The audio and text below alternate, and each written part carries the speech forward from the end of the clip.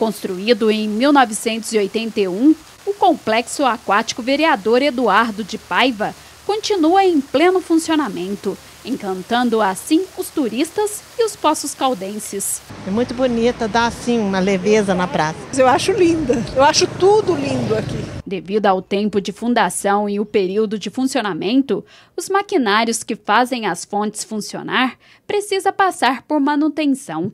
Vira e mexe dá um probleminha em função do tempo, é, da antiguidade, mas é um equipamento de primeira linha. Tanto é que ela tem funcionado quase sempre. Quando a população vê parado, é porque realmente é um fusível e é um fusível mais antigo. É difícil de achar esse fusível no, no comércio local. Para fazer os ajustes, muitas vezes as fontes ficam sem funcionar. E isso aconteceu nesta semana devido a um defeito. Na verdade, foi um aquecimento que deu na chave de fusíveis NH.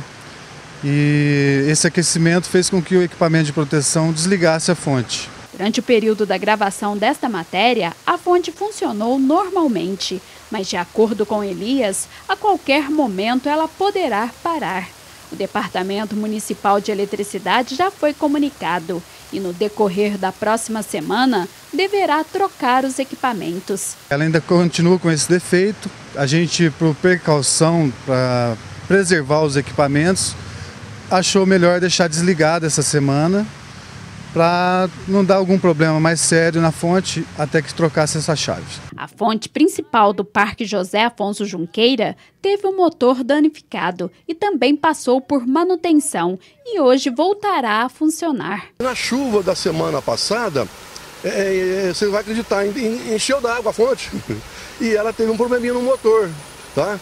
Nós já tiramos esse motor, já aquecemos, já trocamos, ela volta a funcionar hoje à noite. A população até entende que as fontes precisam de manutenção, mas espera que seja feita durante a semana, para que aos finais de semana funcionem normalmente. Tem que ficar parado para ela poder funcionar, manutenção para ela poder ficar funcionando de repente nos finais de semana, durante a semana acho que tem que dar uma paradinha para arrumar. Ah, eu acho que tem que fazer a manutenção, não tem outra alternativa, né? Tem que manter ela bonita assim. Eu acho ela linda, maravilhosa. Ontem nós estivemos aqui, ela estava apagada. A gente queria ver ela acesa, né?